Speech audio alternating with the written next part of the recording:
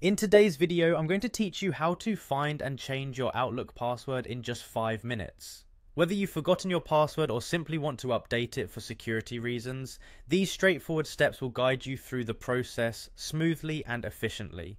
Let's get started.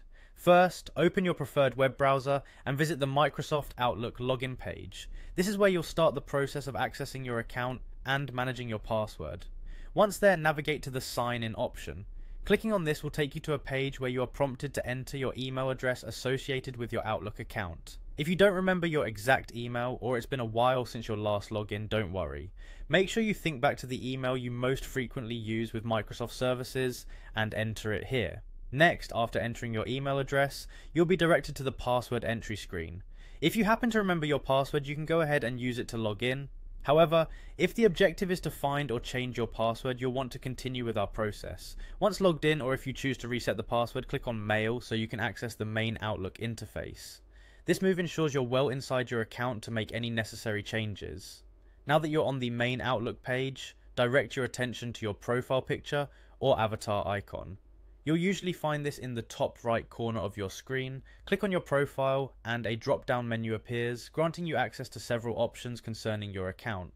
From this menu select my Microsoft account. By doing so you're stepping into the central hub where all your Microsoft account settings and personal information reside and this is where you'll manage security settings. Once inside your Microsoft account page, you need to locate the security section. This can sometimes be easily spotted in a menu at the top of the screen or as a tile on the main page. Clicking on security will bring you to a dedicated area for all things involving account protection and personal security settings. This is a critical step since you can ensure not just password changes but a comprehensive check of your security settings while you're here.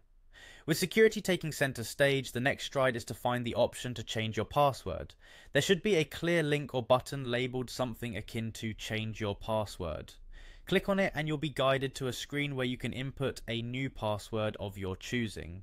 This new password should be strong yet memorable. Try to incorporate a mix of letters, numbers and symbols. It's also wise to avoid obvious choices like sequential numbers or the word password. Remember, a secure password is your first line of defense against unauthorized access. Once you've decided on a robust password, enter it into the designated fields. You might be asked to input the password twice to confirm it.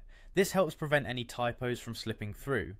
After confirming, it's time to save the new password. With one successful click, your password should now be updated. As a final note, it's beneficial to consider these steps as part of ongoing digital hygiene. By regularly updating your passwords and ensuring you have a reliable means of recovering them, such as a verified backup email or phone number, you keep your Outlook account safer. It's also a good idea to set reminders to review your security settings periodically. We've walked through accessing your Microsoft account, navigating to the security settings, and efficiently updating your password. This not only bolsters your account security, but also grants peace of mind. Remember this routine whenever you feel the need to tighten security or refresh your passwords. Thanks for watching, and I hope this guide helps you effortlessly manage your Outlook account security.